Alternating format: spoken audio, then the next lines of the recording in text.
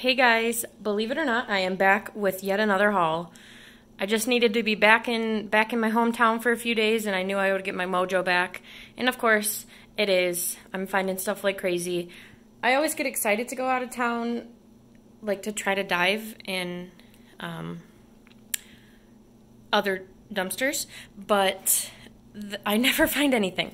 So when I get home, I always seem to find tons more, per usual. But here I am with this haul. Obviously, this is mostly snack foods. Came from the pharmacy. It all came in this bag right here. The only thing left in there is a receipt and all of this delicious, fabulous stuff. Most of the dates on these is not until August. So uh, it is nearing the end of July but we still have not hit August, so these have not even passed their dates yet. And since they are, you know, pre-packaged processed foods, they'll be good for much, much longer.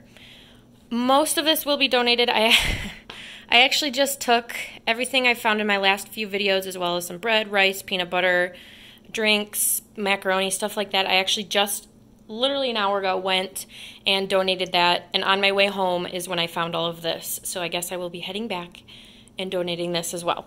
Well, most of it. Um, so let's start right here. I have a box of Cheez-Its. Let's find a date. March. So these are a little bit older, um, but again, they are fine.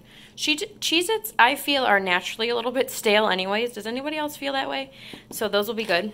Um, Go Raw Choco Crunch Sprouted Cookies. I have found those before.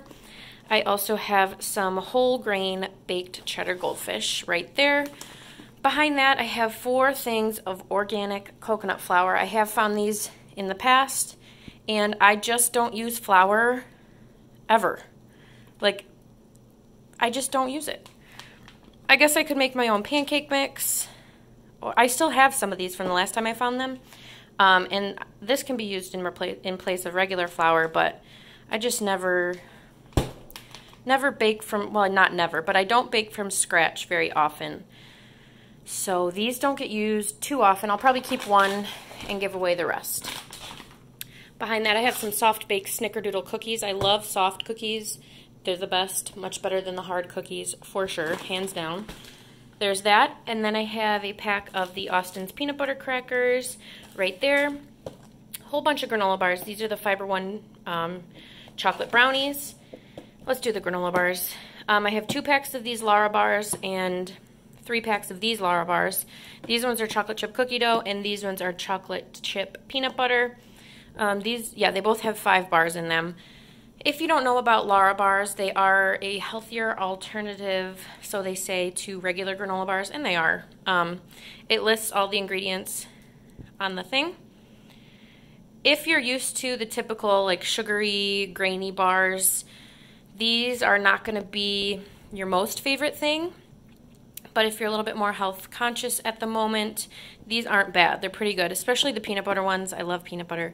They have a really dense texture, so um, I actually found out about Lara bars through dumpster diving. I used to find these so, so, so often. If you go back to one of my old videos, I bet there'll be Lara bars in it. Moving on, I have six Smash Crispy thingamabobs. I have found Smashmallows before, like marshmallows, but Smash in the front. but I've never found like the Rice Krispie versions of them. I have three strawberries and cream and three cinnamon churro. This box was ripped open a little bit, so I decided to try one. And let me tell you, they are absolutely delicious. And I think I will like the cinnamon churro even better. So I'll probably keep one box of each of those. Um, I totally got...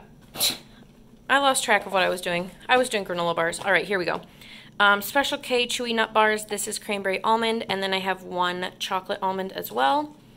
I have two dark mocha almond kashi, and then two of the store brand Gold Emblem Greek yogurt and blueberry flavored granola bars with real blueberries, they say, so that's good. Um, and then back to the Rice Krispie treats. Delicious. And behind that, I have some cereal. I have two things of Rice Chex, which, if you guys have never made puppy chow, that's what puppy chow is made with. And puppy chow is delicious. so maybe I'll keep one of those and make some puppy chow, but I'll give away the other one, and then both of these as well. I have some Cascadian Farms. This is organic fruit and nut granola. I like to use my granola as cereal with milk rather than yogurt. Um, and then behind that, I have some Cocoa Pebbles. Right here is instant oatmeal. These are a variety pack. There's cinnamon spice, apples and cinnamon, and maple brown sugar. And then I have a little variety of crackers. Townhouse Original, Ritz, the uh, premiums like the saltines, and then almond nut thins. All of these will be donated as well. And last but not least, I have my little coffee corner. I find coffee like no other.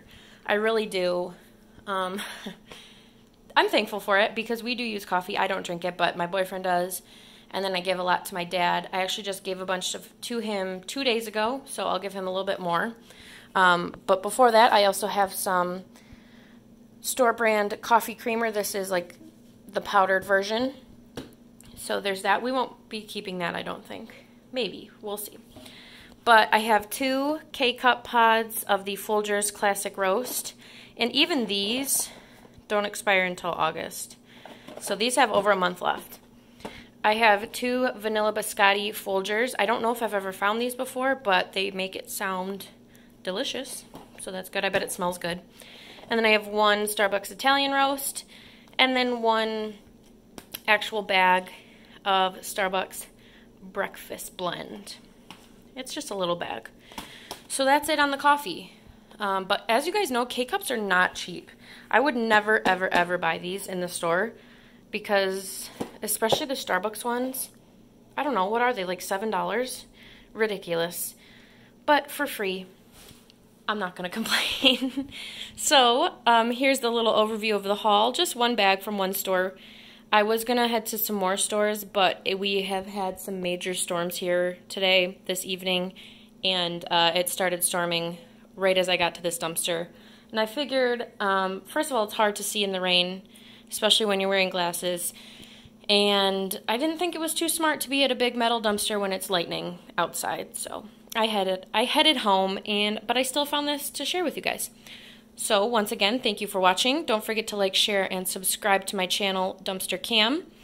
And I will be back with more dumpster diving related videos soon, as you guys know. Thank you.